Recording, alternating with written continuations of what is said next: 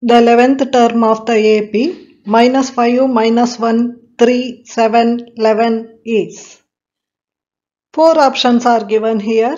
Let us uh, see which one is correct. A n is equal to a plus n minus 1 into d.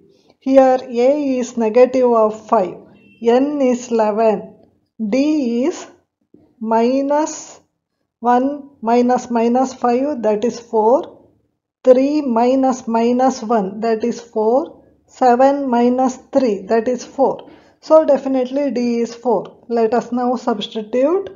Minus 5 n is 11 minus 1 that is 10 d is 4 that is equal to 5 plus 40 that is 35 so the correct option is a correct option is A thirty five